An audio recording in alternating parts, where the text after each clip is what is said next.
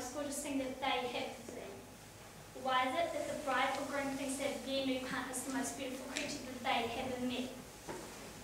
Well, ladies and gentlemen, it all comes down to the eye of the beholder. Every person sees things differently. What I think is handsome and spunky would be completely different from, say, this is Oldfield. Age, maturity, culture, and upbringing will also be a huge influence on what is beautiful. Our world is made up of many countries, and with that comes different cultures, different values, and different aspects of what is beautiful. For instance, in Africa, a tribe called Kariya, their women stretch their necks. It's because that's how they catch a husband. Or in men, extend their bottom lip with a wooden disc so that they can catch an eye of future wealth. To you or me, that's just totally wrong, but to them, it's in the eye of the beholder. Or in India, women wear saris. Saris are long, colourful dresses, and men wear dhotis. They're also long clothing. But that's how Indians attract a husband or a wife. Or say Māoris.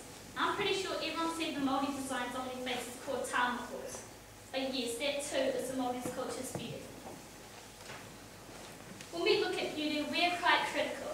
We think beauty should be the perfect form. For boys, FBB, face, and for girls, TAB, tall, abs and bull. But looks are only a small part of beauty. Personality is about 90% of beauty.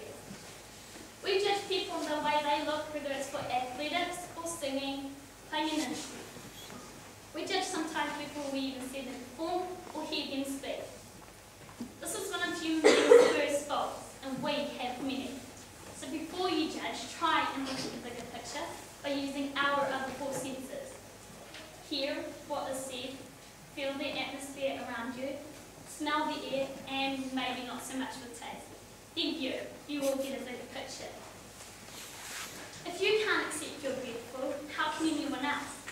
Yes, beauty plays a part in attraction, but personality plays a bigger part. For you, wide, tall, long or short, dark skin or light, big hair or none.